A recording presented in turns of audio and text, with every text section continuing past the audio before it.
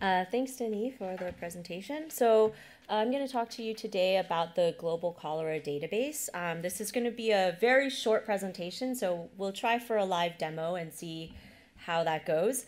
Um, just for those of you that aren't as familiar with this project, um, the purpose of this database is that we, um, back in 2013, when we started this project, realized there was a gap in centralized cholera surveillance data. And so um, we, we set out to create a database that could flexibly accommodate lots of different kinds of data because the surveillance data wasn't being reported in a standardized way by different countries. And um, so we, we wanted to, to build something that could, could capture at least some information about cholera incidents around the world.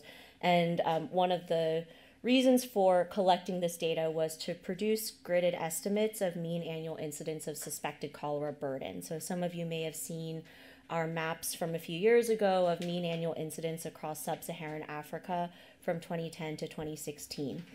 And the, the principles of this database are um, one, to be able to flexibly accommodate data that is linked to specific places and times. So I, am talking a lot about incidence data, but you could imagine a lot of different kinds of data being linked to a place and a time. For example, vaccination campaign data or documents. Um, for example, national cholera control plans that are you know specific to a country and period of time. Um, you could also imagine research data, serological studies also being linked in location and time. And so the, the core principle of our database is this, um, is this uh, linkage of what we, what we call location periods. So um, I'm going to show you a few of the features of the database. And um, you can see we have this uh, landing page of what we call observation collections each of these observation collections represents a single source document. So that could be one set of situation reports from a country. It could be a single ProMed report that was you know found on ReliefWeb. It could be a WHO Afro bulletin. It could be any any sort of form. Um, and what we can do is, for example, search um, all of the different uh, observation collections that we have in a country if I can figure out how to use this Azerty keyboard. um,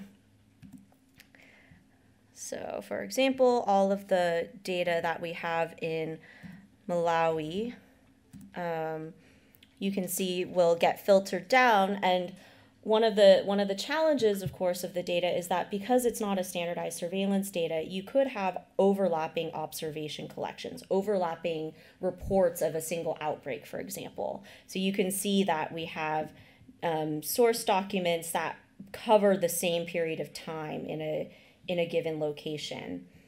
Um, one one thing though that we've been trying to do is curate those um, sort of messy data into more unified data sources. And uh, for example, this source document that I selected is a relatively clean set of data from at the weekly and admin 2 level in Malawi. And it, it goes from 2012 through 2018. And so um, we've been trying to go through our, our data set, what we currently have in the database, identify these sort of unified data sets and tag them as a unified source so that we know that these are high quality data sets that we could potentially extract or, or use for visualization um, and, and other further analyses. Um, and this is just an example of some of the metadata that we collect. We try to incorporate the case definition as well as um, the type of time criteria that was used. This is actually symptom onset date as opposed to um, facility visits. Another feature of the database is um, looking is sort of the spatial structure. So you could see that there was a shapefile of Malawi that was shown. Um, you could, uh, because the, the information is linked in space and time, we have this sort of spatial database uh, that you can search and identify whether we have shapefiles, whether we have uh, linked information um, about a specific location. So this is just an example of Lilongwe City in Malawi uh, we have a shape file that presumably the borders haven't changed, and so we have this location period from 1800 to 2020 for this specific shape. Um, the other feature that some of you may have also seen is related to what we call the country profile. So this is um, a centralized source or a visualization dashboard that allows us to hopefully get a glimpse of the epidemiological situation in the country. So this is an example again in Malawi where um, this is the epi curve that we saw from that unified data source I showed you before.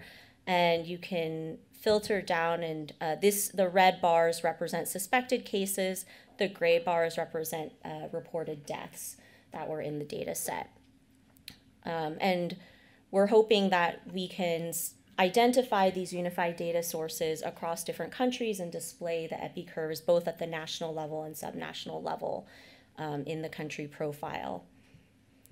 Another aspect of the country profile is the data explorer mode. So here, um, there are a, a, lot of different buttons and we're trying to make this a little simpler, but um, it, it has a combination of things. So one is a set of modeling outputs. Um, sometimes this takes a little while to load, but uh, this is supposed to be showing the gridded mean annual incidence estimates that we have modeled back in 2018. But we've also um, made some effort working with Malika and uh, the OCV working group to, to ingest some of the vaccination campaign data. So this is an example of the vaccination campaigns that were conducted over the past few years, which, um, which areas and how many doses were actually uh, targeted in specific locations. And this table on the right corresponds to the, the data that you see on the left.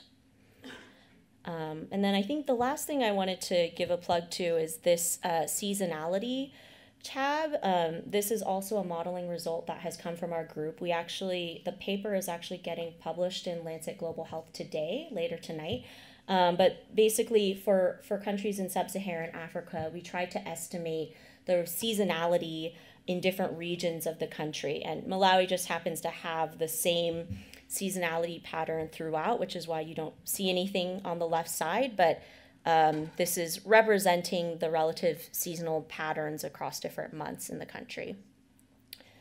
Um, and then at the bottom of this page, we have a, a, similar view to what I showed you before, which shows all of the uh, types of data that are, are linked with Malawi, incidence data primarily, as well as uh, documents that were used to uh, fill in this data.